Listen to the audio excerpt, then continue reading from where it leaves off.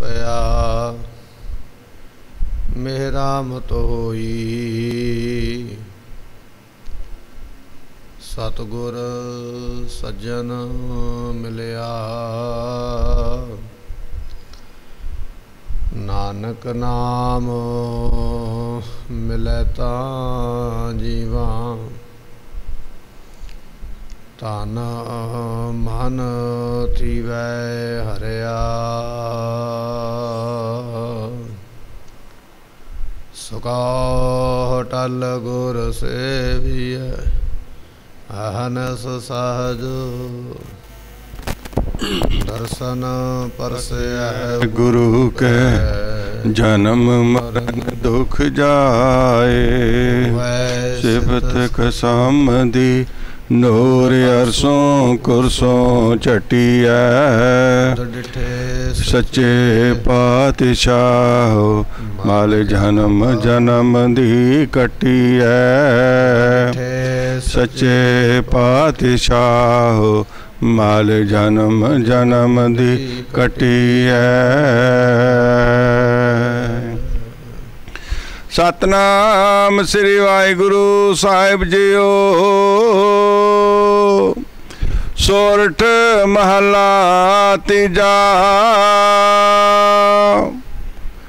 ਦਾਸਨ ਦਾਸ ਹੋਵੇ ਤਾਂ ਹਰ ਪਾਏ, ਵਿੱਚੋਂ ਆਪ ਗਵਾਈ। ਭਗਤਾਂ ਕਾ ਕਾਰਜ ਹਰ ਆਨੰਦ ਹੈ ਅਨੰਦਨ ਹਰ ਗੁਣ ਗਾਈ। ਸ਼ਬਦ ਰਤੇ ਸਦਾ ਇਕ ਰੰਗੀ। ਹਰ ਸਿਉ ਰਹੈ ਸੁਮਾਈ।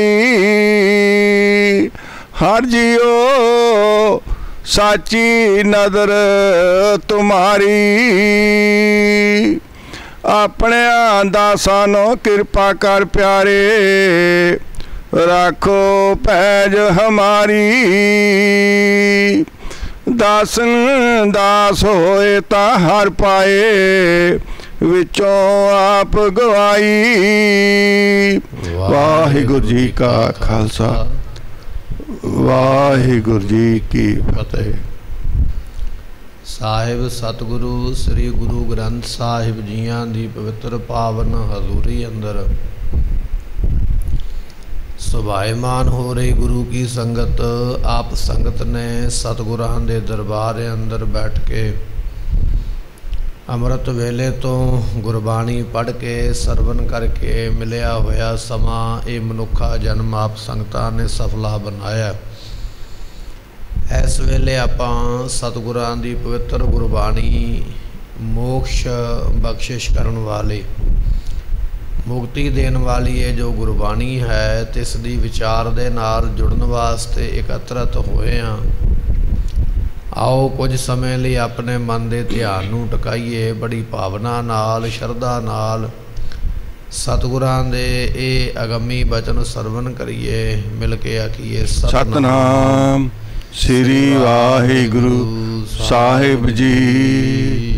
ਸਤਨਾਮ ਸ੍ਰੀ ਵਾਹਿਗੁਰੂ ਸਾਹਿਬ ਜੀਓ। ਸੋਰਠ ਮਹਲਾ ਤੀਜਾ। ਦਾਸਨ ਦਾਸ ਹੋਵੇ ਤਾਂ ਹਰ ਪਾਏ ਵਿੱਚੋਂ ਆਪ ਗਵਾਈ। ਉਠ ਰਾਗ ਦਾ ਇਹ ਸ਼ਬਦ ਹੈ ਜੋ ਆਪਾਂ ਸਰਵਨ ਕਰ ਰਹੇ ਹਾਂ। ਤੀਸਰੇ ਗੁਰਦੇਵ ਸਾਹਿਬ ਗੁਰੂ ਅਮਰਦਾਸ ਮਹਾਰਾਜ ਜੀਆਂ ਨੇ।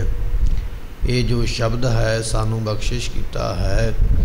ਸਤਿਗੁਰੂ ਪਾਤਸ਼ਾਹ ਫਰਮਾਉਂਦੇ ਵਿੱਚੋਂ ਆਪ ਗਵਾਈ। ਜਦੋਂ ਆਪਣੇ ਅੰਦਰੋਂ ਆਪਾ ਭਾਵ ਨੂੰ ਗਵਾ ਲਵੇਂਗਾ, ਹੰਕਾਰ ਨੂੰ ਗਵਾ ਲਵੇਂਗਾ, ਤੇ ਫਿਰ ਦਾਸਨ ਦਾਸਾ ਹੋਏ, ਫਿਰ ਦਾਸਾਂ ਦਾ ਦਾਸ ਬਣੇਗਾ। ਕਿਉਂਕਿ ਦਾਸਾਂ ਦਾ ਦਾਸ ਉਦੋਂ ਬਣਿਆ ਜਾਣਾ, ਸੇਵਕਾਂ ਦਾ ਸੇਵਕ ਉਦੋਂ ਬਣਿਆ ਜਾਏਗਾ ਜਦੋਂ ਤੇਰੇ ਅੰਦਰੋਂ ਹੰਕਾਰ ਚਲਾ ਜਾਏਗਾ, ਜਿੰਨਾ ਚਿਰ ਹੰਕਾਰ ਹੈ, ਉਹਨਾਂ ਚਿਰ ਦਾਸ ਨਹੀਂ ਬਣ ਸਕੇਗਾ। ਉਹਨਾਂ ਚਿਰ ਆਪਣੇ ਆਪ ਨੂੰ ਵੱਡਾ ਸਮਝੇਗਾ। ਪਰ ਜਦੋਂ ਹੰਕਾਰ ਖਤਮ ਹੋ ਗਿਆ, ਫਿਰ ਦਾਸਾਂ ਦਾ ਦਾਸ, ਸੇਵਕਾਂ ਦਾ ਸੇਵਕ ਬਣੇਗਾ। ਵਿੱਚੋਂ ਆਪ ਗਵਾਈ, ਜਦੋਂ ਵਿੱਚੋਂ ਆਪਾ ਭਾਵ ਚਲੇ ਗਿਆ ਨਾ, ਹੰਕਾਰ ਚਲੇ ਗਿਆ, ਤੇ ਪਾਤਸ਼ਾਹ ਬਖਸ਼ਿਸ਼ ਕਰਦੇ, ਫਿਰ ਦਾਸਨ ਦਾਸਾ ਹੋਏ। ਫਿਰ ਦਾਸਾਂ ਦਾ ਦਾਸ ਬਣ ਜਾਏਗਾ, ਫਿਰ ਕੀ ਪ੍ਰਾਪਤੀ ਹੋਵੇਗੀ? ਸਤਿਗੁਰੂ ਪਾਤਸ਼ਾਹ ਮਹਾਰਾਜ ਕਹਿਣ ਲੱਗੇ, ਫਿਰ ਤਾਂ ਹਰ ਪਾਏ, ਤਾਂ ਫਿਰ ਪ੍ਰਮਾਤਮਾ ਨੇ ਮਿਲ ਪੈਣਾ। ਸੋ ਇਹ ਦੋ ਕੰਮ ਤੈਨੂੰ ਕਰਨੇ ਪੈਣਗੇ, ਪ੍ਰਮਾਤਮਾ ਨੂੰ ਮਿਲਣ ਵਾਸਤੇ। ਪਹਿਲਾ ਕੰਮ ਇਹ ਆ ਵੀ ਤੈਨੂੰ ਮਨ ਵਿੱਚੋਂ ਹੰਕਾਰ ਗਵਾਉਣਾ ਪਵੇਗਾ। ਦੂਜਾ ਕੰਮ ਇਹ ਕਰਨਾ ਪਵੇਗਾ ਵੀ ਤੈਨੂੰ ਦਾਸਾਂ ਦਾ ਦਾਸ, ਸੇਵਕਾਂ ਦਾ ਸੇਵਕ ਨਿਮਰਤਾ ਤੇਰੇ ਮਨ ਵਿੱਚ ਹੋਣੀ ਚਾਹੀਦੀ ਹੈ। ਐਸੀ ਨਿਮਰਤਾ ਵਾਲਾ ਬਣੇਗਾ ਤਾਂ ਹਰ ਪਾਏ ਤਾਂ ਪਰਮਾਤਮਾ ਨੂੰ ਪਾਏਗਾ ਤਾਂ ਉਸ ਦੀ ਪ੍ਰਾਪਤੀ ਹੁੰਦੀ ਹੈ। ਭਗਤਾਂ ਕਾ ਕਾਰਜ ਹਰ ਆਨੰਦ ਹੈ ਆਂਦਨ ਹਰ ਗੁਣ ਗਾਈ। ਪਰਮਾਤਮਾ ਆਨੰਦ ਸਰੂਪ ਹੈ ਨਾ ਆਨੰਦ ਦੇਣ ਵਾਲਾ। ਸਤਿਗੁਰੂ ਪਾਤਸ਼ਾਹ ਕਹਿਣ ਲੱਗੇ ਅਣ ਦਿਨ ਹਰ ਗੁਣ ਗਾਈ। ਭਗਤ ਦਿਨੇ ਰਾਤ ਉਹਦੇ ਗੁਣਾਂ ਨੂੰ ਗਾਉਂਦੇ। ਆਨੰਦ ਦੇਣ ਵਾਲੇ ਪਰਮਾਤਮਾ ਦੇ ਗੁਣ ਭਗਤ ਜਿਹੜੇ ਨੇ ਉਹ ਦਿਨੇ ਰਾਤ ਗਾਉਂਦੇ। ਨੇ ਤੇ ਫਿਰ ਭਗਤਾਂ ਦਾ ਕਾਰਜ ਇਹੋ ਹੀ ਭਗਤਾਂ ਦਾ ਕੰਮ ਹੈ, ਰੱਬ ਦਾ ਨਾਮ ਜਪਣਾ। ਭਗਤਾਂ ਦਾ ਕੰਮ ਕੀ ਹੈ? ਪਰਮੇਸ਼ਰ ਦਾ ਨਾਮ ਜਪਣਾ। ਤੇ ਉਹ ਭਗਤ ਫਿਰ ਦਿਨੇ ਰਾਤ ਉਹਦੇ ਨਾਮ ਨੂੰ ਜਪਦੇ। ਤੇ ਉਹ ਆਨੰਦ ਦੇਣ ਵਾਲਾ ਪਰਮਾਤਮਾ ਫਿਰ ਨਾਮ ਦੇ ਵਿੱਚ ਆਨੰਦ ਦੀਆਂ ਦਾਤਾਂ ਬਖਸ਼ਿਸ਼ ਕਰਦਾ ਹੈ। ਸ਼ਬਦ ਰਤੇ ਸਦਾ ਇੱਕ ਰੰਗੀ, ਹਰ ਸਿਉ ਰਹਿ ਸ਼ਬਦ ਜਿਹੜੇ ਉਪਦੇਸ਼ ਨੂੰ ਪ੍ਰਾਪਤ ਕਰਕੇ ਬ੍ਰਹਮ ਦੇ ਵਿੱਚ ਰੱਤੇ ਰੰਗੇਗਾ ਸ਼ਬਦ ਤੋਂ ਭਾਵ ਹੈ ਉਪਦੇਸ਼, ਗੁਰੂ ਦਾ। ਗੁਰੂ ਦਾ ਉਪਦੇਸ਼ ਪ੍ਰਾਪਤ ਕਰਕੇ ਜਿਹੜੇ ਬ੍ਰਹਮ ਦੇ ਵਿੱਚ ਰੰਗੇ ਗਏ ਨੇ। ਬ੍ਰਹਮ ਦੇ ਵਿੱਚ ਜਿਹੜੇ ਲਿਵਲੀਨ ਹੋ ਗਏ, ਸਤਿਗੁਰੂ ਪਾਤਸ਼ਾਹ ਕਹਿਣ ਲੱਗੇ, ਉਹ ਇੱਕ ਰੰਗੀ ਜੋ ਪ੍ਰਮਾਤਮਾ ਹੈ, ਉਹਦੇ ਵਿੱਚ ਉਹ ਗੁਰਮੁਖ ਸਮਾ ਜਾਂਦੇ, ਜਿਹੜਾ ਹਰੇਕ ਰੰਗ ਦੇ ਵਿੱਚ ਆਇਆ ਹੋਇਆ, ਪਰ ਆਪ ਇੱਕ ਹੀ ਹੈ। ਉਹਦੇ ਵਿੱਚ ਉਹ ਗੁਰਮੁਖ ਜਿਹੜੇ ਨੇ ਲਿਵਲੀਨ ਹੋ ਜਾਂਦੇ ਹਨ। ਹਰ ਜਿਉ ਸਾਚੀ ਇਸ ਤੁਮਾਰੀ। ਕਰਕੇ ਹੈ ਪਰਮਾਤਮਾ ਆਪ ਜੀ ਦੀ ਜੋ ਨਜ਼ਰ ਹੈ ਨਜ਼ਰ ਤੋਂ ਭਾਵ ਹੈ ਕਿਰਪਾ ਦ੍ਰਿਸ਼ਟੀ।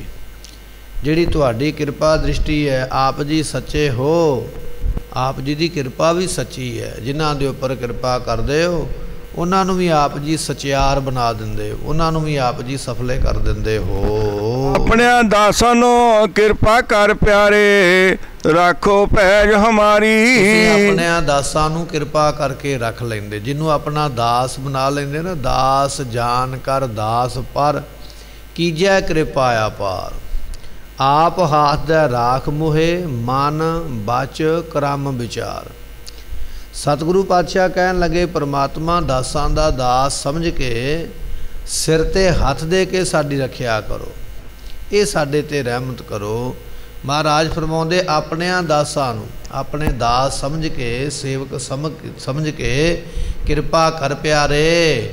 ਪਰਮਾਤਮਾ ਕਿਰਪਾ ਕਰ ਸਾਨੂੰ ਆਪਣਾ ਸੇਵਕ ਜਾਣ ਕੇ, ਬੱਚਾ ਜਾਣ ਕੇ, ਰਾਖੋ ਪੈਜ ਹਮਾਰੀ। ਜਿਵੇਂ ਤੁਸੀਂ ਹੋਰਾਂ ਭਗਤਾਂ ਦੀ ਇੱਜ਼ਤ ਰੱਖੀ ਹੈ ਹੋਰਾਂ ਭਗਤਾਂ ਨੂੰ ਕਿਰਪਾ ਕਰਕੇ ਤਾਰਦੇ ਹੋ ਇਸੇ ਤਰ੍ਹਾਂ ਸਾਨੂੰ ਵੀ ਆਪਣਾ ਭਗਤ ਜਾਣ ਕੇ ਸੇਵਕ ਜਾਣ ਕੇ ਕਿਰਪਾ ਕਰਕੇ ਰੱਖ ਲੈਣਾ ਕਰੋ। ਰਹਾਉ ਸ਼ਬਦ ਸਲਾਹੀ ਸਦਾ ਹੋ ਜੀਵਾ ਗੁਰਮਤੀ ਭਉ ਭਾਗਾ। ਸ਼ਬਦ ਗੁਰੂ ਦਾ ਉਪਦੇਸ਼ ਪ੍ਰਾਪਤ ਕਰਦੇ ਨੇ। ਗੁਰੂ ਦੇ ਉਪਦੇਸ਼ ਨੂੰ ਆ ਕੇ ਜਿਹੜੇ ਗੁਰਮੁਖ ਲੈਂਦੇ ਨਾ, ਐਸੇ ਗੁਰਮੁਖ ਨੇ ਫਿਰ ਉਹ ਗੁਰੂ ਦੇ ਸ਼ਬਦ ਦੇ ਰਾਹੀਂ ਪਰਮਾਤਮਾ ਦੀ ਸਲਾਹੀ ਕਹੀਏ, ਸਿਫਤ ਕਰਦੇ। ਸੋ ਇਹ ਸਾਡਾ ਇੱਕ ਸਵਾਲ ਵੀ ਹੈ ਤੇ ਸਾਡੇ ਸਵਾਲ ਦਾ ਇਹ ਜਵਾਬ ਵੀ ਹੈ, ਪਰਮਾਤਮਾ ਨੂੰ ਕਿਵੇਂ ਸਲਾਹਿਆ ਜਾਏ? ਪਰਮਾਤਮਾ ਨੂੰ ਜੇ ਸਲਾਉਣਾ ਹੈ ਤੇ ਉਹਦੇ ਵਾਸਤੇ ਕੇਵਲ ਇੱਕ ਗੁਰੂ ਗ੍ਰੰਥ ਸਾਹਿਬ ਦੀ ਬਾਣੀ ਹੈ, ਜਿਹੜੀ ਪਰਮਾਤਮਾ ਦੀ ਸਿਫਤ ਦੇ ਵਿੱਚ ਸਤਿਗੁਰਾਂ ਨੇ ਉਚਾਰੀ ਹੈ। ਇਹਦੇ ਤੋਂ ਵੱਡੀ ਸਿਫਤ ਕੋਈ ਬੰਦਾ ਕਰ ਨਹੀਂ ਸਕਦਾ ਹੈ। ਸਤਿਗੁਰੂ ਪਾਤਸ਼ਾਹ ਫਰਮਾਉਂਦੇ, ਸ਼ਬਦ ਸਲਾਹੀ, ਜਿਨ੍ਹਾਂ ਨੂੰ ਸ਼ਬਦ ਮਿਲਿਆ ਗੁਰੂ ਦਾ ਉਪਦੇਸ਼। ਗੁਰੂ ਦੇ ਉਪਦੇਸ਼ ਦੇ ਨਾਲ ਜਿਹੜੇ ਗੁਰਮੁਖ ਉਸ ਪਰਮਾਤਮਾ ਦੀ ਵਡਿਆਈ ਕਰਦੇ ਨੇ, ਸਦਾ ਹੋ ਜੀਵਾਂ। ਉਹ ਗੁਰਮੁਖ ਸਦਾ ਵਾਸਤੇ ਪਰਮਾਤਮਾ ਦੀ ਪ੍ਰਾਪਤੀ ਦੇ ਵਿੱਚ ਉਹ ਜਿਉਂਦੇ ਨੇ। ਤੇ ਸਤਿਗੁਰੂ ਪਾਤਸ਼ਾਹ ਕਹਿਣ ਲੱਗੇ, ਗੁਰਮਤੀ ਪਉ ਭਾਗਾ, ਗੁਰੂ ਦੀ ਮਤ ਲੈ ਕੇ ਡਰ ਹੀ ਸਾਰੇ ਖਤਮ ਹੋ ਗਏ। ਹੁਣ ਅਸੀਂ ਡਰਦੇ ਰਹਿੰਦੇ ਨਾ ਜ਼ਿੰਦਗੀ ਦੇ ਵਿੱਚ ਕਦੇ ਕਿਸ ਦਾ ਡਰ ਹੈ, ਕਦੇ ਕਿਸ ਦਾ ਡਰ ਹੈ। ਜਮਾਂ ਦਾ ਡਰ ਹੈ, ਮੌਤ ਦਾ ਡਰ ਹੈ, ਕੰਮ ਵਿਗੜ ਨਾ ਜਾਵੇ, ਉਹਦਾ ਡਰ ਹੈ। ਦੁਨੀਆ ਵਿੱਚ ਕੋਈ ਪ੍ਰਾਪਤੀ ਨਾ ਹੋਵੇ, ਉਹਦਾ ਵੀ ਡਰ ਹੈ। ਪਰ ਜਿਨ੍ਹਾਂ ਨੇ ਗੁਰੂ ਦਾ ਉਪਦੇਸ਼ ਪ੍ਰਾਪਤ ਕਰ ਲਿਆ, ਪਾਤਸ਼ਾਹ ਕਹਿਣ ਲੱਗੇ, ਭਉ ਭਾਗਾ, ਉਹਨਾਂ ਦੇ ਡਰ ਸਾਰੇ ਖਤਮ ਹੀ ਹੋ ਗਏ। ਡਰ ਕਿਸੇ ਤਰ੍ਹਾਂ ਦਾ ਰਹਿੰਦਾ ਹੀ ਨਹੀਂ ਹੈ। ਗੁਰ ਕਾ ਸ਼ਬਦ ਰਖਵਾਰੇ, ਚੌਕੀ ਚੌਗਿਰਦ ਹਮਾਰਾ। ਇਹ ਬਚਨ ਹੈ ਮਹਾਰਾਜ ਸਾਹਿਬ ਜੀਆਂ ਦੇ ਫਿਰ ਗੁਰੂ ਦਾ ਸ਼ਬਦ ਉਹਨਾਂ ਗੁਰਸਿੱਖਾਂ ਦੀ ਹਰ ਵੇਲੇ ਰੱਖਿਆ ਕਰਦਾ ਹੈ। ਉਹਨਾਂ ਦੇ ਡਰ ਮੁੱਕ ਜਾਂਦੇ ਹਨ। ਮੇਰਾ ਪ੍ਰਭ ਸਾਚਾ ਅਤ ਸਵਾਲਿਓ ਗੁਰ ਸੇਵਿਆ ਚਿਤ ਲਾਗਾ। ਪਰਮਾਤਮਾ ਹੈ ਨਾ ਭਾਈ ਸੱਚਾ ਪਰਮਾਤਮਾ ਅਕਾਲ ਪੁਰਖ ਅਤ ਸਵਾਲਿਓ ਅਤ ਤੋਂ ਭਾਵ ਹੈ ਅਤਸ਼ਾ ਕਰਕੇ। ਸਵਾਲਿਓ ਕਹੀਏ ਸਲਾਉਣੇ ਯੋਗ ਹੈ। ਉਹ ਪਰਮਾਤਮਾ ਬਹੁਤ ਜ਼ਿਆਦੀ ਵਡਿਆਈ ਕਰਨ ਦੇ ਯੋਗ ਹੈ। ਕਈ ਵਾਰੀ ਅਸੀਂ ਦੁਨੀਆ ਵਿੱਚ ਵਿਚਰਦੇ ਹਨ ਅੱਜ ਅਸੀਂ ਕਿਸੇ ਬੰਦੇ ਦੀ ਤਾਰੀਫ ਕਰਦੇ ਪਏ, ਕਿਸੇ ਦੀ ਵਡਿਆਈ ਕਰਦੇ ਪਏ, ਫਲਾਣਾ ਬਹੁਤ ਚੰਗਾ ਹੈ, ਬੜਾ ਪਰਉਪਕਾਰੀ ਹੈ, ਬੜਾ ਗੁਣੀ ਹੈ। ਜਦੋਂ ਕੱਲ ਨੂੰ ਕਿਸੇ ਗੱਲ ਦਾ ਸਾਨੂੰ ਪਤਾ ਲੱਗ ਗਿਆ ਕਿਸੇ ਦੇ ਕੋਲੋਂ, ਫਿਰ ਅਸੀਂ ਆਖਣਾ, ਨਹੀਂ, ਮੈਂ ਤੇ ਐਵੇਂ ਇਹਦੀ ਸਿਫਤ ਕਰਦਾ ਸੀ, ਪਰ ਹੈ ਨਹੀਂ ਇਹ ਸਿਫਤ ਦੇ ਯੋਗ। ਕੱਲ ਸਿਫਤ ਕੀਤੀ ਹੈ, ਅੱਜ ਨਿੰਦਿਆ ਕੀਤੀ ਹੈ। ਪਰ ਸਤਿਗੁਰੂ ਪਾਤਸ਼ਾਹ ਕਹਿਣ ਲੱਗੇ, ਪ੍ਰਮਾਤਮਾ ਜਿਹੜਾ ਹੈ ਨਾ, ਮੇਰਾ ਪ੍ਰਭ ਸਾਚਾ ਉਹ ਹਮੇਸ਼ਾ ਹੀ ਸੱਚਾ ਹੈ ਜੇ ਉਹਦੀ ਅੱਜ ਤਾਰੀਫ ਕਰਦਾ ਪਿਆ ਨਾ, ਪ੍ਰਮਾਤਮਾ ਦੀ ਵਡਿਆਈ ਕਰਦਾ ਪਿਆ, ਤੇ ਕੱਲ ਨੂੰ ਤੈਨੂੰ ਨਿੰਦਣਾ ਨਹੀਂ ਪਵੇਗਾ, ਤੈਨੂੰ ਇਹ ਨਹੀਂ ਕਹਿਣਾ ਪਵੇਗਾ, ਨਹੀਂ, ਪ੍ਰਮਾਤਮਾ ਬੜਾ ਮਾੜਾ ਹੈ। ਕਿਉਂਕਿ ਸਿਫਤ ਕਰਕੇ ਤੂੰ ਮੰਗਿਆ, ਉਹ ਤੈਨੂੰ ਮਿਲ ਜਾਣਾ ਹੈ। ਸਤਿਗੁਰੂ ਪਾਤਸ਼ਾਹ ਬਖਸ਼ਿਸ਼ ਕਰਦੇ ਕਹਿਣ ਲੱਗੇ, ਅਤ ਸਵਾਲਿਓ, ਉਹ ਪਰਮਾਤਮਾ ਬਹੁਤੇ ਸਲਾਉਣੇ ਯੋਗ ਹੈ। ਇਸ ਕਰਕੇ ਦੁਨੀਆ ਉਸ ਨੂੰ ਸਲਾਉਂਦੀ ਹੈ ਸਿਫਤ ਕਰਦੀ ਹੈ ਗੁਰ ਸ਼ਬਦੀ। ਗੁਰ ਸੇਵਾ ਜਿਨ੍ਹਾਂ ਨੇ ਗੁਰੂ ਦੀ ਸੇਵਾ ਕੀਤੀ ਹੈ ਨਾ ਹੁਣ ਸਾਡੇ ਮਨ ਵਿੱਚ ਇਹ ਸਵਾਲ ਪੈਦਾ ਹੋ ਜਾਂਦਾ ਹੈ ਵੀ ਗੁਰੂ ਦੀ ਸੇਵਾ ਕਰਕੇ ਮਿਲਦਾ ਕੀ ਹੈ ਜਾਂ ਗੁਰੂ ਦੀ ਸੇਵਾ ਕਿਉਂ ਕਰਨੀ ਚਾਹੀਦੀ ਹੈ? ਕੁਝ ਲੋਕ ਇਸ ਗੱਲ ਦੇ ਉੱਪਰ ਤਰਕ ਵੀ ਕਰਦੇ ਨੇ ਵੀ ਗੁਰੂ ਦੀ ਸੇਵਾ ਵਿੱਚੋਂ ਕੀ ਮਿਲਦਾ ਲੋਕ ਐਵੇਂ ਲੱਗੇ ਰਹਿੰਦੇ। ਸਤਿਗੁਰੂ ਪਾਤਸ਼ਾਹ ਮਹਾਰਾਜ ਨੂੰ ਪੁੱਛਿਆ, ਮਹਾਰਾਜ, ਸੇਵਾ ਕਰਕੇ ਕੀ ਮਿਲਦਾ ਹੈ? ਸੇਵਾ ਕਿਉਂ ਕਰੀਦੀ ਹੈ? ਸਤਿਗੁਰੂ ਪਾਤਸ਼ਾਹ ਕਹਿਣ ਲੱਗੇ, ਗੁਰ ਸੇਵਾ, ਜਦੋਂ ਗੁਰੂ ਦੀ ਸੇਵਾ ਕਰੇਗਾ ਨਾ ਭਾਈ ਪਿਆਰਿਆ, ਚਿੱਤ ਲਾਗਾ, ਫਿਰ ਤੇਰਾ ਚਿੱਤ ਜਿਹੜਾ ਧਿਆਨ ਹੈ ਨਾ ਉਹ ਪ੍ਰਮਾਤਮਾ ਦੇ ਨਾਮ ਦੇ ਵਿੱਚ ਲੱਗੇਗਾ। ਇਹ ਤੇਰੇ ਸਵਾਲ ਦਾ ਜਵਾਬ ਹੈ। ਜਦੋਂ ਅਸੀਂ ਆਖਦੇ, ਮੈਂ ਬਾਣੀ ਪੜ੍ਹਦਾ, ਮੈਂ ਨਾਮ ਤੇ ਜਪਦਾ, ਪਰ ਮੇਰਾ ਧਿਆਨ ਨਹੀਂ ਲੱਗਦਾ ਸਤਿਗੁਰੂ ਪਾਤਸ਼ਾਹ ਕਹਿੰਦੇ ਧਿਆਨ ਲੱਗੇਗਾ ਸੇਵਾ ਕਰ। ਜਦੋਂ ਸੇਵਾ ਕਰੇਗਾ ਸੇਵਾ ਤੈਨੂੰ ਧਿਆਨ ਵਾਲੇ ਪਾਸੇ ਲੈ ਕੇ ਜਾਵੇਗੀ। ਗੁਰ ਸੇਵਾ ਗੁਰੂ ਦੀ ਸੇਵਾ ਕਰਕੇ ਚਿੱਤ ਲਾਗਾ ਤੇਰਾ ਚਿੱਤ ਪ੍ਰਮਾਤਮਾ ਦੇ ਨਾਮ ਦੇ ਵਿੱਚ ਜੁੜ ਜਾਏਗਾ। ਸਾਚਾ ਸ਼ਬਦ ਸੱਚੀ ਸੱਚ ਬਾਣੀ ਸੋ ਜਨ ਅੰਦਿਨ ਜਾਗਾ। ਸਤਿਗੁਰਾਂ ਦਾ ਜਿਹੜਾ ਸ਼ਬਦ ਹੈ ਨਾ ਉਹ ਸੱਚਾ ਹੈ। ਉਸ ਸ਼ਬਦ ਦੀ ਕਮਾਈ ਕਰਕੇ ਉਸ ਸੱਚੇ ਬ੍ਰਹਮ ਨੂੰ ਗੁਰਮੁਖ ਪ੍ਰਾਪਤ ਹੋਏ ਨੇ। ਤੇ ਪਾਤਸ਼ਾਹ ਕਹਿਣ ਲੱਗੇ, ਸੱਚੀ ਸੱਚ ਬਾਣੀ, ਸਤਿਗੁਰਾਂ ਦੀ ਬਾਣੀ ਤ੍ਰੈ ਕਾਲ ਬਾਅਦ ਸੱਚ ਸਰੂਪ ਹੈ। ਜਦੋਂ ਅਸੀਂ ਦੁਨੀਆ ਤੇ ਨਹੀਂ ਸਾਂ ਆਏ, ਉਦੋਂ ਵੀ ਉਹ ਬਾਣੀ ਨਾਮ ਸੱਚਾ ਹੈ। ਹੁਣ ਸੱਚਾ ਹੈ, ਆਉਣ ਵਾਲੇ ਸਮੇਂ ਵਿੱਚ ਵੀ ਉਹ ਸੱਚਾ ਹੀ ਹੈ। ਸਤਿਗੁਰੂ ਪਾਤਸ਼ਾਹ ਕਹਿਣ ਲੱਗੇ, ਜੋ ਅਣਦਿਨ ਜਾਗਾ, ਜਿਹੜੇ ਗੁਰਮੁਖ ਦਿਨੇ ਰਾਤ ਉਹਦੀ ਭਗਤੀ ਵਿੱਚ ਜਾਗਦੇ ਨੇ। ਦਿਨੇ ਰਾਤ ਉਹਦੇ ਨਾਮ ਦੇ ਵਿੱਚ ਜਾਗਦੇ ਪਏ। ਸਤਿਗੁਰਾਂ ਦਾ ਬਚਨ ਵੀ ਆਪਾਂ ਪੜ੍ਹਦੇ ਆਂ ਦਿਨ ਰਾਤੀਆਂ ਰੱਦ ਹੋ ਪਿਆਰੋ, ਨਿਮਖ ਨਾ ਕੀਜੈ ਢੀਲਾ। ਦਿਨੇ ਰਾਤ ਉਹਦੇ ਨਾਮ ਨੂੰ ਜਪਿਆ ਕਰ। ਦਿਨੇ ਰਾਤ ਵਾਹਿਗੁਰੂ ਮੰਤਰ ਦੇ ਸਿਮਰਨ ਦਾ ਚਿੰਤਨ ਕਰਿਆ ਕਰ, ਤਾਂ ਕਿ ਤੈਨੂੰ ਪ੍ਰਾਪਤੀ ਹੋ ਜਾਵੇ। ਤੂੰ ਗਿਆਨ ਅਵਸਥਾ ਵਿੱਚ ਜਾਗ ਪਵੇਂ।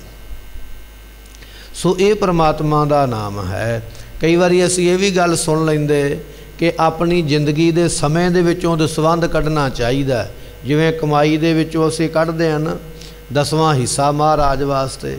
ਤੇ ਕੁਝ ਲੋਕਾਂ ਦੀ ਵਿਚਾਰ ਇਹ ਹੁੰਦੀ ਹੈ ਵੀ ਸਮੇਂ ਵਿੱਚੋਂ ਵੀ ਦਸਵਾਂ ਹਿੱਸਾ ਕੱਢਣਾ ਚਾਹੀਦਾ ਨਾਮ ਜਪਣ ਵਾਸਤੇ। ਨਹੀਂ, ਦਸਵਾਂ ਹਿੱਸਾ ਨਹੀਂ। ਮਹਾਰਾਜ ਤੇ ਇੱਥੇ ਬਚਨ ਕਰਦੇ ਨੇ, ਅਣਦਿਨ ਜਾਗਾ, ਦਿਨੇ ਰਾਤ ਤੂੰ ਤੇ ਲੱਗਾ ਹੀ ਰਹੋ। ਨਾਮ ਜਪਣ ਵਾਸਤੇ ਦਸਵਾਂ ਹਿੱਸਾ ਨਾ ਸੋਚਿਆ ਕਰ। ਉਹ ਤੇ ਕਿਰਤ ਕਮਾਈ ਵਿੱਚੋਂ ਜੇ ਤੂੰ ਕਾਰ ਭੇਟਾ ਕੋਈ ਦੇਣੀ ਚਾਹਣਾ, ਉਹ ਵੱਖਰੀ ਗੱਲ ਹੈ ਗੁਰੂ ਘਰ ਦੀਆਂ ਸੇਵਾਵਾਂ ਵਾਸਤੇ, ਪਰ ਅਸਲ ਦੇ ਵਿੱਚ ਜਿਹੜਾ ਨਾਮ ਜਪਣਾ ਨਾ, ਨਾਮ ਨੂੰ ਦਸਵੰਦ ਵਿੱਚ ਲੈ ਕੇ ਨਾ ਆ। ਮਹਾਰਾਜ ਦਾ ਬਚਨ ਦਿਨ ਰਾਤੀ ਆਰਾਧੋ ਪਿਆਰੋ। ਇੱਥੇ ਦਸਵੇਂ ਹਿੱਸੇ ਦੀ ਗੱਲ ਨਹੀਂ ਕੀਤੀ ਹੈ ਵੀ 10 ਮਿੰਟ ਜਪਿਆ ਤਾਂ ਹੁਣ ਤੈਨੂੰ ਬਾਕੀ ਜਿਹੜੇ ਆ, ਉਹ 90 ਮਿੰਟ ਤੋਂ ਫ੍ਰੀ ਹੋ ਸਕਦਾ। ਨਹੀਂ, ਇੱਥੇ ਬਚਨ ਇਹ ਆ ਵੀ ਦਿਨੇ ਰਾਤ ਜਿੰਨਾ ਵੀ ਜਪਿਆ ਜਾਂਦਾ ਹੈ, ਇਹ ਤੇਰਾ ਅਵਸਰ ਇਹ ਤੇਰੀ ਬਾਰ ਇਹ ਤੈਨੂੰ ਸਮਾਂ ਮਿਲਿਆ ਈ। ਇਹ ਅਵਸਰ ਮਿਲਿਆ ਹੈ ਇਸ ਅਵਸਰ ਦਾ ਫਾਇਦਾ ਚੁੱਕ ਲੈਣਾ ਕਰ। ਮਹਾਰਾਜ ਕਹਿਣ ਲੱਗੇ ਜਿਨ੍ਹਾਂ ਨੇ ਪ੍ਰਮਾਤਮਾ ਦੇ ਸੱਚੇ ਨਾਮ ਨੂੰ ਪੜ੍ਹਿਆ ਹੈ ਉਹ ਗੁਰਮੁਖ ਜਿਹੜੇ ਨੇ ਦਿਨੇ ਰਾਤ ਬੰਦਗੀ ਵਿੱਚ ਹੀ ਜਾਗਦੇ ਰਹਿੰਦੇ ਹਰ ਵੇਲੇ ਸਿਮਰਨ ਕਰਦੇ ਹਨ। ਮਹਾ ਗੰਭੀਰ ਸਦਾ ਸੁਖ ਦਾਤਾ ਤਿਸ ਕਾ ਅੰਤ ਨ ਪਾਇਆ। ਬੜਾ ਗੰਭੀਰ ਹੈ ਬੜਾ ਡੂੰਘਾ ਹੈ ਸਦਾ ਹੀ ਸੁਖ ਦੇਣ ਵਾਲਾ ਉਸ ਪਰਮਾਤਮਾ ਦੇ ਕਿਸੇ ਨੇ ਅੰਤ ਨੂੰ ਨਹੀਂ ਪਾਇਆ। ਜੇ ਕੋਈ ਮਨੁੱਖ ਇਹ ਗੱਲ ਕਵੇ ਨਾ ਕਿ ਮੈਂ ਪਰਮਾਤਮਾ ਦਾ ਅੰਤ ਪਾ ਕੇ ਮੁੜ ਆਵਾਂਗਾ, ਨਹੀਂ ਮੁੜਿਆ ਜਾਣਾ। ਤੇਰੀ ਉਮਰਾ ਖਤਮ ਹੋ ਜਾਣੀ ਹੈ ਅਨੰਤ ਕੋ ਚਾਹਣ ਜੋਗ ਹੈ ਸੋ ਆਏ ਅਨੰਤ ਗਵਾਏ। ਜਿਹੜੇ ਪਰਮਾਤਮਾ ਦਾ ਅੰਤ ਪਾਉਣ ਵਾਸਤੇ ਤੁਰੇ, ਉਹਨਾਂ ਦਾ ਆਪਣਾ ਅੰਤ ਹੋ ਗਿਆ, ਉਮਰਾ ਖਤਮ ਹੋ ਗਈ। ਪਰਮਾਤਮਾ ਦਾ ਅੰਤ ਉਹਨਾਂ ਕੋਲੋਂ ਪਾਇਆ ਨਹੀਂ ਗਿਆ। ਹੁਣ ਜੇ ਕੋਈ ਪੰਛੀ ਉੱਡਦਾ ਪਿਆ ਆਕਾਸ਼ ਦੇ ਵਿੱਚ ਪੰਛੀ ਜਨਮ ਤੋਂ ਲੈ ਕੇ ਮਰਨ ਤੱਕ ਹੀ ਭਾਵੇਂ ਉੱਡਦਾ ਰਵੇ ਕਿ ਮੈਂ ਆਕਾਸ਼ ਦਾ ਅੰਤ ਪਾ ਕੇ ਆ ਜਾਵਾਂਗਾ। ਪੰਛੀ ਮਰ ਜਾਏਗਾ, ਉਮਰਾ ਪੂਰੀ ਹੋ ਜਾਏਗੀ, ਪਰ ਆਕਾਸ਼ ਮੁਕਣ ਵਿੱਚ ਨਹੀਂ ਆਵੇਗਾ। ਇਹ ਤੇ ਇੱਕ ਦੁਨੀਆ ਦੀ ਉਦਾਹਰਣ ਹੈ। ਇਹੋ ਜੇ ਪਤਾ ਨਹੀਂ ਕਿੰਨੇ ਕੁ ਆਕਾਸ਼ ਪ੍ਰਮਾਤਮਾ ਨੇ ਸਿਰਜੇ ਨੇ, ਕਿੰਨੇ ਕੁ ਬਣਾਏ ਨੇ। ਤੇ ਫਿਰ ਇੰਨੇ ਵੱਡੀ ਦੁਨੀਆ ਬਣਾਉਣ ਵਾਲਾ ਪ੍ਰਮਾਤਮਾ, ਉਹਦਾ ਅੰਤ ਕਿਸੇ ਨੇ ਕੀ ਪਾ ਲੈਣਾ ਹੈ?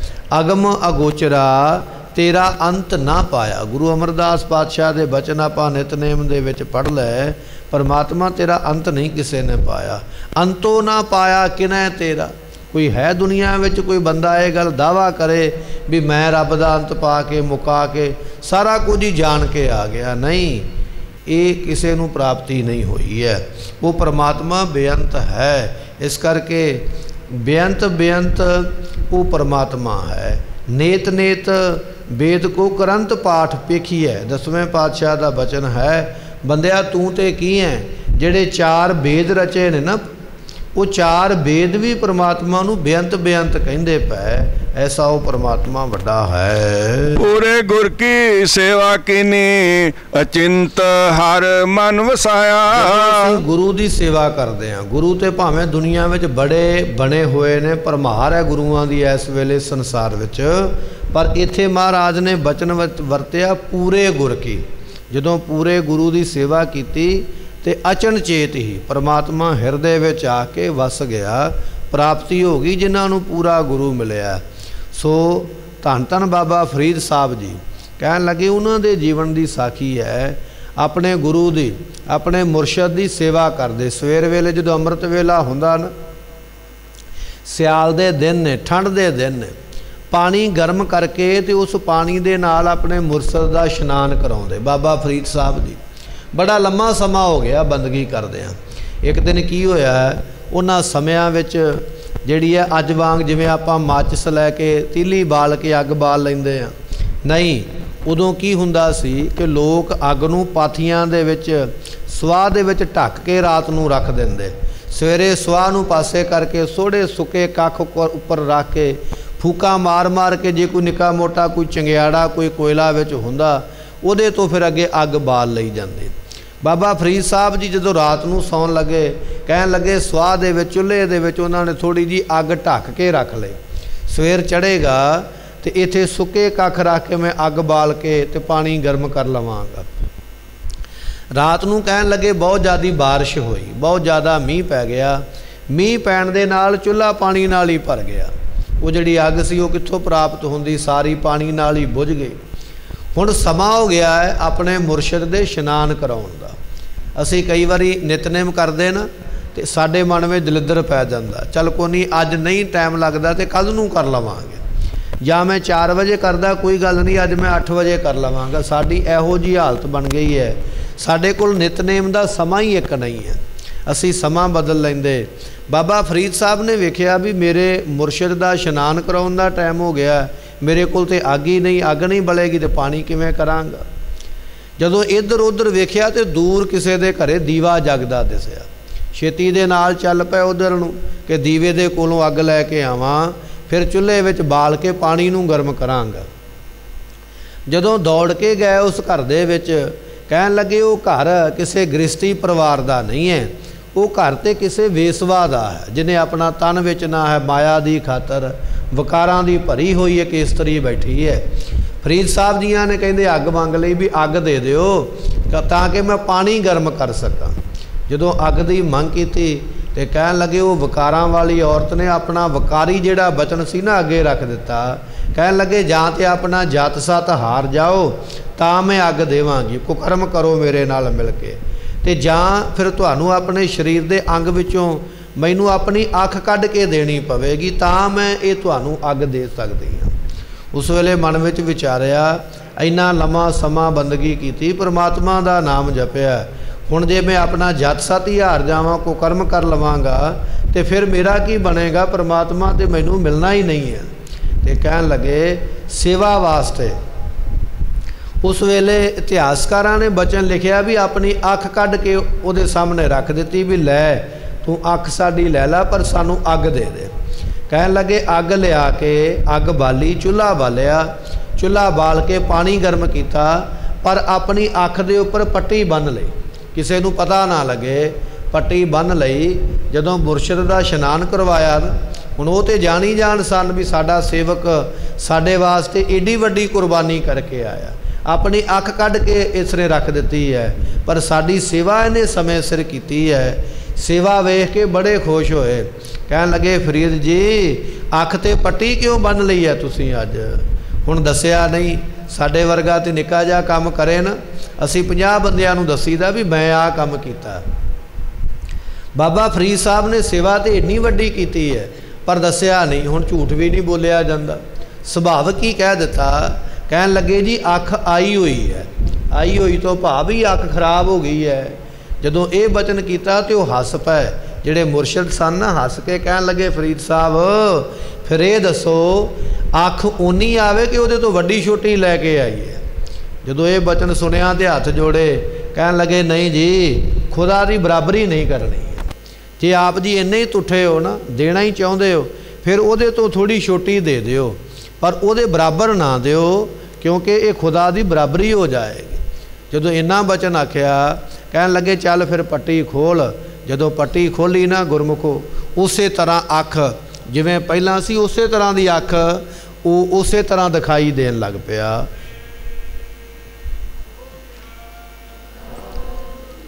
ਗੁਰਮੁਖੋ, ਇਹ ਬਚਨ ਕੋਈ ਅਤ ਕਥਨੇ ਬਚਨ ਨਹੀਂ। ਅੱਜ ਵੀ ਕਹਿਣ ਲੱਗੇ, ਬਾਬਾ ਫਰੀਦ ਸਾਹਿਬ ਦੀ ਕੁਲ ਦੇ ਵਿੱਚ, ਉਹਨਾਂ ਦੇ ਪਰਿਵਾਰ ਦੇ ਵਿੱਚ ਅੱਜ ਵੀ ਉਹਨਾਂ ਦੇ ਮੈਂਬਰ ਦੀ ਇੱਕ ਅੱਖ ਜਿਹੜੀ ਹੈ ਨਾ, ਦੂਜੀ ਅੱਖ ਦੇ ਨਾਲੋਂ ਉਹਦਾ ਫ਼ਰਕ ਹੈ, ਜਿਹੜੇ ਰੱਬ ਦੇ ਭਗਤ ਨੇ, ਐਸੀ ਦਾਤ ਉਹਨਾਂ ਨੂੰ ਪ੍ਰਾਪਤ ਹੋਈ ਹੈ। ਉਹਨਾਂ ਨੇ ਬਚਨ ਲਿਖਿਆ, ਕਹਿਣ ਲੱਗੇ, ਗਲੀਏ ਚਿੱਕੜ, ਦੂਰ ਘਰ, ਨਾਲ ਪਿਆਰੇ ਨੇਹੋ, ਚੱਲਾਂ ਤਾਂ ਭਿੱਜੈ ਕੰਬਲੀ, ਰਹਾ ਤਾਂ ਟੁੱਟੈ ਨੇਹੋ, ਭਿੱਜੋ ਸਿਜੋ ਕੰਬਲੀ, ਅੱਲਾਹ ਵਰਸੈ ਮੇਹੋ, ਜਾਏ ਮਿਲਾਂ ਤਿਨਾ ਸਜਣਾ, ਟੁੱਟੈ ਨਾਹੀ ਨੇਹੋ। ਇਹ ਬਚਨ ਉਹਨਾਂ ਨੇ ਫਿਰ ਗੁਰਬਾਣੀ ਵਿੱਚ ਦਰਜ ਕੀਤਾ। ਮੀਂਹ ਦੀ ਪਰਵਾਹ ਨਹੀਂ ਕੀਤੀ ਹੈ। ਸੇਵਾ ਨੂੰ ਮੁੱਖ ਰੱਖ ਕੇ ਆਪਣੇ ਸਰੀਰ ਤੱਕ ਦਾ ਬਲੀਦਾਨ ਦੇ ਦਿੱਤਾ।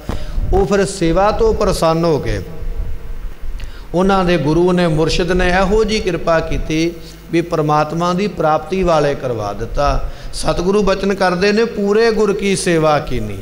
ਇਹ ਹੈ ਪੂਰੇ ਗੁਰੂ ਦੀ ਜਿਨ੍ਹਾਂ ਨੇ ਸੇਵਾ ਕੀਤੀ ਹੈ। ਜੇ ਗੁਰੂ ਹੀ ਅਧੂਰਾ ਹੋਵੇ ਤੇ ਫਿਰ ਉਥੋਂ ਕੀ ਪ੍ਰਾਪਤ ਹੋਵੇਗਾ? ਆਪਾਂ ਸਾਹਿਬ ਗੁਰੂ ਗ੍ਰੰਥ ਸਾਹਿਬ ਮਹਾਰਾਜ ਦੀ ਸੇਵਾ ਕਰਦੇ, ਗੁਰੂ ਘਰੇ ਆ ਕੇ ਸੇਵਾ ਕਰਦੇ ਆ। ਸਾਹਿਬ ਗੁਰੂ ਗ੍ਰੰਥ ਸਾਹਿਬ ਪਾਤਸ਼ਾਹ ਮਹਾਰਾਜ ਜੀ ਪੂਰਨ ਗੁਰੂ ਨੇ ਅਤੇ ਇਹਨਾਂ ਦੀ ਸੇਵਾ ਕੀਤੀ, ਕਦੇ ਨਿਸਫਲ ਨਹੀਂ ਜਾਏਗੀ, ਸਫਲੀ ਹੋ ਜਾਂਦੀ ਹੈ। ਬਾਬਾ ਫਰੀਦ ਸਾਹਿਬ ਜੀਆਂ ਨੇ ਇਹ ਸਾਖੀ ਤੋਂ, ਇਸ ਜੀਵਨ ਤੋਂ ਸਾਨੂੰ ਸਿੱਖਿਆ ਦਿੱਤੀ ਹੈ। ਐ ਮਨੁਸ਼, ਐ ਮਨੁੱਖ ਜੇ ਤੂੰ ਸੇਵਾ ਕਰੇਗਾ, ਤੈਨੂੰ ਉਹ ਵੀ ਚੀਜ਼ ਮਿਲੇਗੀ ਜਿਹੜੀ ਨਹੀਂ ਕਿਤੇ ਉਹ ਮਿਲ ਸਕਦੀ ਹੈ। ਪੂਰੇ ਗੁਰ ਕੀ ਸੇਵਾ ਕਿੰਨੀ? ਜਿਨ੍ਹਾਂ ਨੇ ਬਾਬਾ ਫਰੀਦ ਸਾਹਿਬ ਦੇ ਵਾਂਗ ਪੂਰੇ ਕਿਸੇ ਗੁਰੂ ਦੀ ਸੇਵਾ ਕੀਤੀ ਹੈ। ਅਚਿੰਤ ਹਰ ਮਨ ਵਸਾਇਆ। ਉਹ ਪਰਮਾਤਮਾ ਫਿਰ ਅਚਿੰਤ ਅਚਨ ਚੇਤ ਹੀ ਉਹਨਾਂ ਗੁਰਮੁਖਾਂ ਦੇ ਮਨ ਦੇ ਵਿੱਚ ਵਸ ਜਾਂਦਾ ਹੈ। ਉਹਨਾਂ ਦੇ ਹਿਰਦੇ ਵਿੱਚ ਆ ਕੇ ਵਸ ਜਾਂਦਾ ਹੈ। ਮਨ ਤਨ ਨਿਰਮਲ ਸਦਾ ਸੁਖ ਅੰਤਰ ਵਿੱਚੋਂ ਭਰਮ ਚੁਕਾਇਆ। ਮਨ ਤੇ ਤਨ ਮਨ ਸਾਡੇ ਅੰਦਰ ਜਿਹੜਾ ਸੰਕਲਪ ਲੈਂਦਾ ਪਿਆ ਫੁਰਨੇ ਲੈਂਦਾ, ਤੇ ਤਨ ਜੋ ਸਾਡਾ ਸਰੀਰ ਹੈ, ਕਹਿਣ ਲੱਗੇ ਸਰੀਰ ਵੀ ਸੁਖੀ ਹੋ ਗਿਆ, ਤੇ ਜਿਹੜੇ ਅੰਦਰ ਫੁਰਨੇ ਪੈਦਾ ਹੁੰਦੇ ਪਏ, ਉਹ ਮਨ ਵੀ ਸੁਖੀ ਹੋ ਜਾਂਦਾ ਹੈ। ਪਰ ਹੋਇਆ ਉਹਨਾਂ ਗੁਰਮੁਖਾਂ ਦਾ ਹੈ, ਜਿਨ੍ਹਾਂ ਵਿੱਚੋਂ ਭਰਮ ਚੁਕਾਇਆ, ਜਿਨੇ ਅੰਦਰੋਂ ਭਰਮ ਖਤਮ ਕਰ ਲਿਆ, ਭੁਲੇਖਾ ਖਤਮ ਕਰ ਲਿਆ, ਜਿੰਨਾ ਚਿਰ ਭਰਮ ਭੁਲੇਖੇ ਅੰਦਰ ਬਣੇ ਰਹਿਣਗੇ ਨਾ। ਉਹਨਾਂ ਚਿਰ ਪ੍ਰਾਪਤੀ ਤੋਂ ਦੂਰ ਹੋ ਜਾਵਾਂਗੇ। ਜਿਨ੍ਹਾਂ ਨੇ ਭਰਮ ਭੁਲੇਖੇ ਦੂਰ ਕੀਤੇ ਉਹਨਾਂ ਨੂੰ ਪ੍ਰਾਪਤੀ ਹੁੰਦੀ ਹੈ। ਹਰ ਕਾ ਮਾਰਗ ਸਦਾ ਪੰਥ ਵਿਖਣਾ ਕੋ ਪਾਏ ਗੁਰ ਵਿਚਾਰਾ। ਇਹ ਪ੍ਰਮਾਤਮਾ ਦੀ ਪ੍ਰਾਪਤੀ ਦਾ ਰਸਤਾ ਔਖਾ ਹੈ। ਹਰੇਕ ਬੰਦਾ ਨਹੀਂ ਇਹਨੂੰ ਪ੍ਰਾਪਤ ਕਰ ਸਕਦਾ। ਮਹਾਰਾਜ ਕਹਿਣ ਲੱਗੇ ਦੁਨੀਆ ਤੁਰਦੀ ਤੇ ਬੜੀ ਹੈ। ਜਿਸ ਤਰ੍ਹਾਂ ਕਬੀਰ ਸਾਹਿਬ ਜੀ ਨੇ ਲਿਖਿਆ ਨਾ ਕਬੀਰ ਫਲ ਪਾਕਣ ਲਾਗੇ ਪਾਕਣ ਲਾਗੇ ਆਂਬ। ਕਹਿਣ ਲੱਗੇ ਜਦੋਂ ਅੰਬ ਨੂੰ ਬੂਰ ਪਿਆ ਨਾ, ਅੰਬ ਦੇ ਬੂਟੇ ਨੂੰ, ਤੇ ਤੁਸੀਂ ਵੇਖਿਆ, ਸਾਰੀਆਂ ਟਾਹਣੀਆਂ ਬੂਰ ਦੇ ਨਾਲ ਹੀ ਭਰ ਗਈਆਂ। ਪਰ ਜਿੰਨਾ ਬੂਰ ਪੈ ਗਿਆ ਨਾ ਅੰਬ ਨੂੰ, ਉਹਨੇ ਅੰਬ ਲੱਗਣਗੇ ਨਹੀਂ। ਪਾਕਣ ਲਾਗੇ ਅੰਬ ਜਦੋਂ ਅੰਬ ਲੱਗੇ, ਕੁਝ ਅੰਬ ਉਹ ਸਨ ਜਿਹੜੇ ਲੱਗਦਿਆਂ ਲੱਗਦਿਆਂ ਟੁੱਟ ਕੇ ਆਪਣੇ ਆਪ ਡਿੱਗ ਪਏ। ਕੁਝ ਇਹੋ ਜਿਹੇ ਸਨ ਜਿਹੜੇ ਕਾਣੇ ਹੋ ਗਏ, ਕੁਝ ਉਹ ਸਨ ਜਿਹੜੇ ਗਲ ਗਏ, ਕੁਝ ਅੰਬ ਉਹ ਸਨ ਜਿਨ੍ਹਾਂ ਨੂੰ ਕੋਇਲ ਖਾ ਗਈ। ਕੁਝ ਅੰਬ ਉਹ ਸਨ ਜਿਨ੍ਹਾਂ ਨੂੰ ਬੱਚਿਆਂ ਨੇ ਤੋੜ ਕੇ ਇੱਧਰ ਉੱਧਰ ਸੁੱਟ ਦਿੱਤਾ। ਪਰ ਉਹ ਬਹੁਤ ਘੱਟ ਅੰਬ ਸਨ ਜਿਹੜੇ ਪੱਕ ਕੇ ਮਾਲਕ ਤੱਕ ਪਹੁੰਚੇ। ਹੁਣ ਬੂਰ ਤੇ ਬੜਾ ਲੱਗਿਆ। ਬੂਰ ਤੋਂ ਬਾਅਦ ਵਿੱਚ ਫਲ ਵੀ ਬੜਾ ਲੱਗਿਆ। ਪਰ ਜਿੰਨਾ ਬੂਰ ਲੱਗਿਆ ਉਹਨਾਂ ਫਲ ਨਹੀਂ ਲੱਗਿਆ। ਜਿੰਨਾ ਫਲ ਲੱਗਿਆ, ਉਹ ਸਾਰਾ ਪੱਕ ਨਹੀਂ ਸਕਿਆ। ਕੁਝ ਗਲ ਗਿਆ, ਕੁਝ ਸੜ ਗਿਆ, ਕੁਝ ਟੁੱਟ ਗਿਆ। ਬਹੁਤ ਘੱਟ ਪੱਕ ਕੇ ਮਾਲਕ ਤੱਕ ਪਹੁੰਚਿਆ। ਸਤਿਗੁਰੂ ਪਾਤਸ਼ਾਹ ਕਹਿਣ ਲੱਗੇ, ਇਸੇ ਤਰ੍ਹਾਂ ਭਾਈ ਪ੍ਰਮਾਤਮਾ ਦੇ ਰਸਤੇ ਤੇ ਚੱਲਦੇ ਤੇ ਬੜੇ ਲੋਕ ਨੇ। ਸੈਂਕੜੇ ਲੋਕ, ਹਜ਼ਾਰਾਂ ਲੋਕ ਚੱਲਦੇ, ਮੈਂ ਪ੍ਰਮਾਤਮਾ ਨੂੰ ਮਿਲਣਾ, ਪਰ ਪ੍ਰਮਾਤਮਾ ਦਾ ਰਸਤਾ ਬੜਾ ਔਖਾ ਹੈ। ਹਰੇਕ ਦੇ ਵੱਸ ਦੀ ਗੱਲ ਨਹੀਂ ਹੈ। ਕੋਈ ਦੋ ਕਦਮ ਚੱਲਦਾ, ਕੋਈ ਚਾਰ ਕਦਮ ਚੱਲਦਾ ਥੋੜਾ ਜਿਹਾ ਚੱਲ ਕੇ ਲੋਕ ਥੱਕ ਜਾਂਦੇ। ਨਹੀਂ, ਸਾਡੇ ਤੋਂ ਇਹ ਰਸਤੇ ਤੇ ਨਹੀਂ ਤੁਰਿਆ ਜਾਂਦਾ। ਇਹ ਰਸਤਾ ਬੜਾ ਕਠਨ ਹੈ। ਖੰਨੇ ਹੋ ਤਿੱਖੀ ਵਾਲ ਹੋ ਨਿੱਕੀ ਏਤ ਮਾਰਗ ਜਾਣਾ ਇਹ ਐਸਾ ਰਸਤਾ ਹੈ। ਪਾਤਸ਼ਾਹ ਕਹਿਣ ਲੱਗੇ ਹਰ ਕਾ ਮਾਰਗ ਸਦਾ ਪੰਥ ਵਿਖੜਾ। ਇਹ ਰੱਬ ਦੀ ਪ੍ਰਾਪਤੀ ਦਾ ਰਾਹ ਬੜਾ ਹੀ ਵਿਖੜਾ ਕਹੀਏ ਕਠਨ ਹੈ। ਹਰੇਕ ਬੰਦਾ ਨਹੀਂ ਇਹਦੇ ਤੇ ਤੁਰ ਸਕਦਾ। ਸੋ ਪਾਏ ਜਿਸ ਵਡ ਭਾਗਾ। ਗੁਰ ਵਿਚਾਰਾ।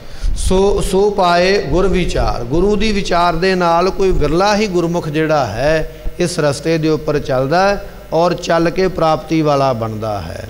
ਆਖਣੇ ਔਖਾ ਸਾਚਾ ਨਾਓ ਰੱਬ ਦਾ ਨਾਮ ਲੈਣਾ ਉਹਦੇ ਰਾਹ ਤੇ ਚੱਲਣਾ ਬੜਾ ਔਖਾ ਹੈ ਪਰ ਕੋਈ ਗੁਰਮੁਖ ਵਿਰਲਾ ਪ੍ਰਾਪਤ ਕਰਦਾ ਹੈ।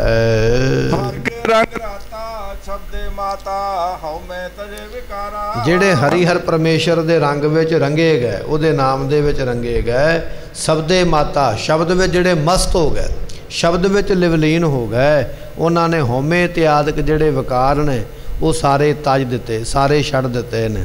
ਹਉਮੈ ਤਜੇ ਵਿਕਾਰਾ ਜਿਨ੍ਹਾਂ ਨੇ ਹਉਮੈ ਵਰਗੇ ਵਿਕਾਰ ਛੱਡ ਦਿੱਤੇ ਉਹ ਗੁਰਮੁਖ ਜਿਹੜੇ ਨੇ ਸ਼ਬਦ ਵਿੱਚ ਰੰਗੇ ਹੋਏ ਪਰਮਾਤਮਾ ਦੀ ਪ੍ਰਾਪਤੀ ਵਿੱਚ ਮਸਤ ਹੋ ਜਾਂਦੇ ਹਨ। ਨਾਨਕ ਨਾਮ ਰਤਾ ਇਕ ਰੰਗੀ ਸ਼ਬਦ ਸਵਾਰਨ ਹਾਰਾ ਜਿਨ੍ਹਾਂ ਨੇ ਸ਼ਬਦ ਨੂੰ ਜਪਿਆ ਹੈ ਉਹ ਗੁਰਮੁਖ ਜਿਹੜੇ ਨੇ ਆਪਣੇ ਆਪ ਨੂੰ ਉਪਦੇਸ਼ ਦੇ ਵਿੱਚ ਲਾ ਕੇ ਨਾਮ ਜਪ ਕੇ ਆਪਣੇ ਆਪ ਨੂੰ ਸਵਾਰ ਲੈਂਦੇ। ਜਿਵੇਂ ਅਸੀਂ ਬਾਹਰੋਂ ਆਪਣੇ ਸਰੀਰ ਨੂੰ ਸਵਾਰਦੇ ਆ ਨਾ, ਕੇਸਾਂ ਵਿੱਚ ਕੰਘਾ ਕਰਦੇ ਆ ਸਾਫ਼ ਕੱਪੜੇ ਪਾਉਂਦੇ ਆ ਮੇਕਅਪ ਕਰਦੇ ਆ ਤਿਆਰ ਹੁੰਦੇ ਆ ਬਾਹਰੋਂ ਸਵਾਰਦੇ ਆ ਵੀ ਅਸੀਂ ਬਾਹਰੋਂ ਚੰਗੇ ਲੱਗੀਏ। ਇਸੇ ਤਰ੍ਹਾਂ ਜਿਹੜੇ ਪਰਮਾਤਮਾ ਦੇ ਪਿਆਰੇ ਨੇ, ਉਹ ਨਾਮ ਜਪ ਕੇ ਆਪਣੇ ਆਪ ਨੂੰ ਅੰਦਰੋਂ ਸਵਾਰਦੇ ਨੇ। ਮੈਂ ਆ ਵੀ ਵਕਾਰ ਛੱਡ ਦੇਣਾ ਮੈਂ ਆ ਵੀ ਗੁਨਾਹ ਛੱਡ ਦੇਣਾ ਹੈ, ਮੈਂ ਆ ਵੀ ਐਬ ਛੱਡ ਦੇਣਾ ਹੈ। ਜਿਵੇਂ ਅਸੀਂ ਬਾਹਰੋਂ ਤਿਆਰ ਹੁੰਦੇ ਆ ਹਾਰ ਸ਼ਿੰਗਾਰ ਕਰਦੇ, ਸੋਹਣਾ ਲੱਗਣ ਵਾਸਤੇ, ਗੁਰਮੁਖ ਜਿਹੜੇ ਨੇ ਉਹ ਨਾਮ ਜਪ ਜਪ ਕੇ ਅੰਦਰੋਂ ਆਪਣੇ ਆਪ ਨੂੰ ਸਵਾਰਦੇ, ਵਕਾਰਾਂ ਨੂੰ ਛੱਡੀ ਜਾਂਦੇ, ਗੁਣਾਂ ਨੂੰ ਇਕੱਠਾ ਕਰ ਲੈਂਦੇ। ਨਾਨਕ ਨਾਮ ਰਤਾ ਇੱਕ ਰੰਗੀ, ਸ਼ਬਦ ਸਵਾਰਨ ਹਾਰਾ, ਜਿਨ੍ਹਾਂ ਨੇ ਸ਼ਬਦ ਦੀ ਪ੍ਰਾਪਤੀ ਕੀਤੀ ਹੈ, ਉਹ ਗੁਰਮੁਖ ਇੱਕ ਰੰਗੀ ਪ੍ਰਮਾਤਮਾ ਦੇ ਨਾਮ ਦੇ ਵਿੱਚ ਰੰਗੇ ਜਾਂਦੇ ਹਨ। ਮਹਲਾ ਤੀਜਾ, ਹਰ ਜਿਉ ਤੁਧਨੋ ਸਦਾ ਸਲਾਹੀ ਪਿਆਰੇ, ਜਿਤ ਘਟ ਅੰਤਰ ਹੈ ਸਾਸਾ।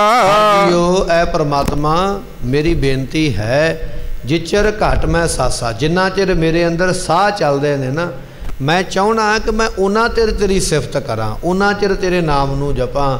ਸਾਨੂੰ ਹੁਣ ਜ਼ਿੰਦਗੀ ਮਿਲੀ ਹੈ ਨਾ, ਲੰਮੀ ਜ਼ਿੰਦਗੀ ਮਿਲੀ ਹੈ 100 ਸਾਲ 50 ਸਾਲ। ਪਰ ਇੰਨੇ ਲੰਮੇ ਸਮੇਂ ਵਿੱਚੋਂ ਅਸੀਂ ਬੜਾ ਥੋੜਾ ਸਮਾਂ ਬੰਦਗੀ ਕਰਾਂਗੇ। ਪਰ ਪਾਤਸ਼ਾਹ ਕਹਿਣ ਲੱਗੇ ਜਿਚਰ ਘਟ ਅੰਤਰ ਹੈ ਸਾਸਾ, ਜਿੰਨਾ ਚਿਰ ਮੇਰੇ ਅੰਦਰ ਸਾਹ ਚੱਲਦੇ ਪਏ, ਪਰਮਾਤਮਾ ਸਦਾ ਸਲਾਹੀ, ਮੈਂ ਤੈਨੂੰ ਉਹਨਾਂ ਚਿਰ ਸਲਾਉਂਦਾ ਹੀ ਰਵਾਂ ਉਹਨਾਂ ਚਿਰ ਤੇਰੇ ਨਾਮ ਨੂੰ ਜਪਦਾ ਰਵਾਂ, ਜਿੰਨਾ ਚਿਰ ਮੇਰੇ ਅੰਦਰ ਸਾਹ ਚੱਲਦੇ ਰਹਿਣ। ਉਹਨਾਂ ਚਿਰ ਇਹਨਾਂ ਨਜ਼ਰਾਂ ਦੇ ਨਾਲ ਮੈਂ ਤੈਨੂੰ ਤੱਕਦਾ ਰਵਾਂ। ਫਰੀਦ ਸਾਹਿਬ ਜੀ ਨੇ ਬਚਨ ਕੀਤਾ ਹੈ ਕਹਿਣ ਲੱਗੇ, ਕਰਾਗਾ, ਕਾਗਾ, ਕਰੰਗ ਢਨੋਲਿਆ ਸਗਲਾ ਖਾਇਆ ਮਾਸ, ਇਹ ਦੋਏ ਨੈਣਾ ਮਤ ਸ਼ੁਹੋ ਫਿਰ ਦੇਖਣ ਕੀ ਆਸ, ਐਸੀ ਆਸ ਉਹਨਾਂ ਨੂੰ ਬਣੀ ਹੋਈ ਹੈ। ਇਹਨਾਂ ਨੇਤਰਾਂ ਦੇ ਨਾਲ ਮੈਂ ਗੁਰੂ ਦੇ ਹੋਰ ਦਰਸ਼ਨ ਕਰਦੇ ਰਵਾਂ। ਇਹ ਸਰੀਰ ਦੇ ਨਾਲ ਮੈਂ ਹੋਰ ਸੇਵਾ ਕਰਦਾ ਰਵਾਂ। ਇਸ ਜ਼ੁਬਾਨ ਦੇ ਨਾਲ ਮੈਂ ਹੋਰ ਨਾਮ ਜਪਦਾ ਰਵਾਂ। ਧੰਨ ਧੰਨ ਬਾਬਾ ਬੁੱਢਾ ਸਾਹਿਬ ਜੀ, ਜਦੋਂ ਸਰੀਰ ਛੱਡਣ ਲੱਗੇ ਧੰਨ ਗੁਰੂ ਹਰਗੋਬਿੰਦ ਪਾਤਸ਼ਾਹ ਮਹਾਰਾਜ ਨੂੰ ਸੁਨੇਹਾ ਮਿਲਿਆ। ਸਤਿਗੁਰੂ ਪਾਤਸ਼ਾਹ ਜਦੋਂ ਗਏ ਨਾ ਬਾਬਾ ਬੁੱਢਾ ਸਾਹਿਬ ਜੀ ਦੇ ਕੋਲ ਤੇ ਉਸ ਵੇਲੇ ਆਖਿਆ, ਬਾਬਾ ਬੁੱਢਾ ਸਾਹਿਬ ਜੀ, ਦੱਸੋ ਕਿਹੜੀ ਤੁਹਾਨੂੰ ਦਾਤ ਬਖਸ਼ਿਸ਼ ਕਰੀਏ? ਤੇ ਬਾਬਾ ਬੁੱਢਾ ਸਾਹਿਬ ਜੀ ਕਹਿਣ ਲੱਗੇ, ਮਹਾਰਾਜ, ਸਰੀਰ ਦਾ ਅਖੀਰਲਾ ਸਮਾਂ ਹੈ। ਮੈਂ ਚਾਹੁੰਦਾ ਹਾਂ ਕਿ ਮੇਰੇ ਨੇਤਰ ਜਿਹੜੇ ਨੇ ਤੁਹਾਡੇ ਦਰਸ਼ਨ ਕਰਦਿਆਂ ਕਰਦਿਆਂ ਬੰਦ ਹੋਣ, ਮੇਰੇ ਸਾਹਮਣੇ ਖਲੋਤੇ ਰਵੋ। ਸੋ ਐਸੀ ਦਾਤ ਬਾਬਾ ਬੁੱਢਾ ਸਾਹਿਬ ਜੀ ਨੇ ਮੰਗ ਲਈ। ਗੁਰੂ ਹਰਗੋਬਿੰਦ ਪਾਤਸ਼ਾਹ ਦੇ ਦਿਦਾਰੇ ਕਰਦਿਆਂ ਕਰਦਿਆਂ ਸੱਚਖੰਡ ਨੂੰ ਪ੍ਰਾਪਤ ਹੋ ਗਏ। ਸੋ ਇਹ ਹੈ ਗੁਰਮੁਖਾਂ ਦੀ ਭਾਵਨਾ। ਜਿੰਨਾ ਚਿਰ ਸਾਡੇ ਅੰਦਰ ਸਵਾਸ ਚੱਲਦੇ ਪਏ ਪਰਮਾਤਮਾ ਮੈਂ ਉਹਨਾਂ ਚਿਰ ਤੇਰੇ ਨਾਮ ਨੂੰ ਜਪਦਾ ਰਵਾਂ। ਐਸੀ ਮੇਰੇ ਤੇ ਕਿਰਪਾ ਕਰ। ਇੱਕ ਪਰਖਿਨ ਵਿਸਰੇ ਤੂੰ ਸੁਆਮੀ ਜਾਣੋ ਬਰਸ 50 ਜੇ ਤੂੰ ਇੱਕ ਖਿਣ ਸਮਾਂ ਵੀ ਭੁੱਲ ਜਾਵੇਂ ਅੱਖ ਨੂੰ ਖੋਲਣਾ ਤੇ ਮੀਟਣਾ ਇਹ ਕਿੰਨਾ ਕੁ ਸਮਾਂ ਹੈ? ਜੇ ਤੂੰ ਕਿਤੇ ਇੰਨਾ ਸਮਾਂ ਵੀ ਮੈਨੂੰ ਭੁੱਲ ਜਾਂਦਾ ਹੈ ਨਾ, ਤੇ ਮੈਨੂੰ ਇਸ ਤਰ੍ਹਾਂ ਲੱਗਦਾ ਜਿਵੇਂ 50 ਸਾਲ ਹੋ ਗਏ ਨੇ ਤੈਨੂੰ ਭੁੱਲਿਆ ਹੋਇਆ। ਜੇ ਕੋਈ ਸਾਡਾ ਆਪਣਾ ਕੋਈ ਬਹੁਤਾ ਪਿਆਰਾ ਹੋਵੇ ਨਾ ਪ੍ਰੇਮ ਕਰਨ ਵਾਲਾ, ਉਹ ਥੋੜਾ ਹੀ ਸਮਾਂ ਸਾਨੂੰ ਬੁਲਾਵੇ ਨਾ ਦੂਰ ਚਲਾ ਜਾਵੇ, ਤੇ ਸਾਨੂੰ ਇਸ ਤਰ੍ਹਾਂ ਲੱਗਦਾ ਪਤਾ ਨਹੀਂ ਕਿੰਨਾ ਸਮਾਂ ਹੋ ਗਿਆ ਉਹਦੇ ਨਾਲ ਗੱਲ ਕੀਤੇ ਆ ਪਰਮਾਤਮਾ ਜਿਨ੍ਹਾਂ ਗੁਰਮੁਖਾਂ ਦਾ ਤੇਰੇ ਨਾਲ ਪਿਆਰ ਬਣਿਆ, ਉਹਨਾਂ ਨੂੰ ਜੇ ਇੱਕ ਸਮਾਂ, ਇੱਕ ਖਿਣ ਵੀ ਤੂੰ ਭੁੱਲ ਜਾਵੇਂ, ਤੇ ਇਸ ਤਰ੍ਹਾਂ ਲੱਗਦਾ ਜਿਵੇਂ ਕਈ ਸਾਲ ਜਾਣੋ ਬਰਸ 50 ਜਿਵੇਂ 50 ਸਾਲ ਹੋ ਗਿਆ ਤੈਨੂੰ ਭੁੱਲਿਆ ਹੋਇਆ ਐਸਾ ਵਿਛੋੜਾ ਉਹਨਾਂ ਨੂੰ ਲੱਗਦਾ ਹੈ। ਹਮ ਮੂੜ ਮੁਗਦ ਸਦਾ ਸੇ ਭਾਈ ਗੁਰ ਕੇ ਸ਼ਬਦ ਪ੍ਰਗਾਸਾ।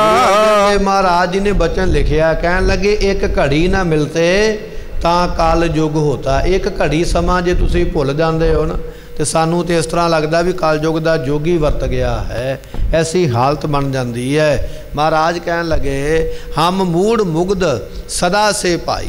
ਅਸੀਂ ਤੇ ਮੂਰਖਾਂ ਤੋਂ ਵੱਡੇ ਮੂਰਖਾਂ ਭਾਈ। ਸਾਡੇ ਵਰਗਾ ਤੇ ਮਾਂ ਮੂਰਖ ਕੋਈ ਹੋ ਹੀ ਨਹੀਂ ਸਕਦਾ। ਪਰ ਇਹ ਗੁਰੂ ਨੇ ਕਿਰਪਾ ਕੀਤੀ ਹੈ। ਗੁਰ ਕੈ ਸ਼ਬਦ ਪ੍ਰਗਾਸਾ। ਗੁਰੂ ਨੇ ਆਖਿਆ, ਕੋਈ ਗੱਲ ਨਹੀਂ।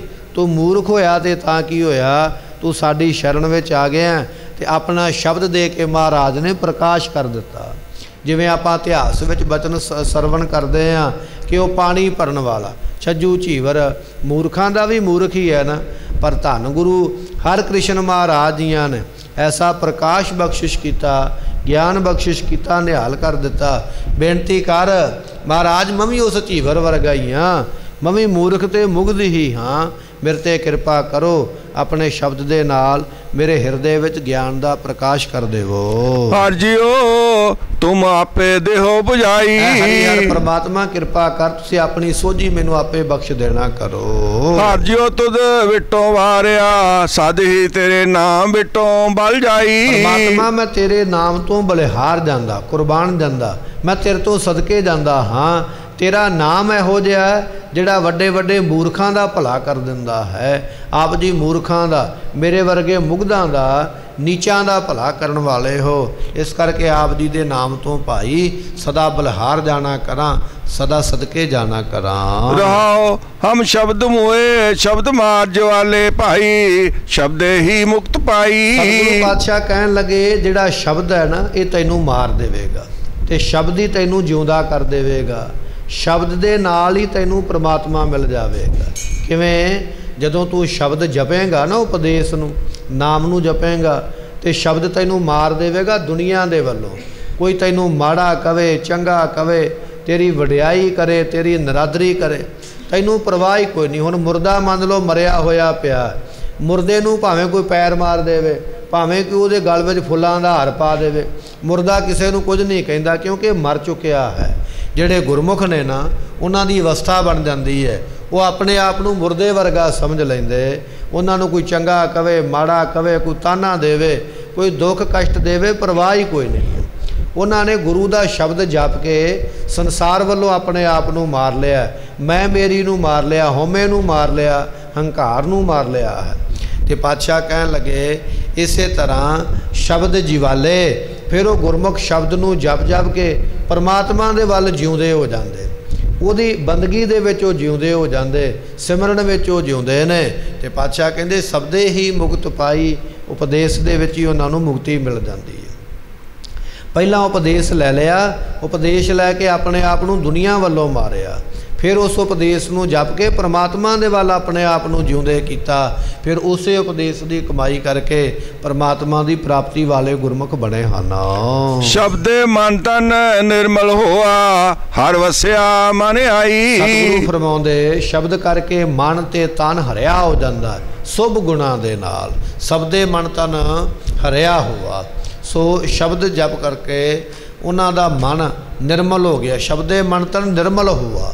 ਨਿਰਮਲ ਹੋ ਗਿਆ ਮਨ ਵਿੱਚੋਂ ਮੈਲ ਦੂਰ ਹੋ ਗਈ।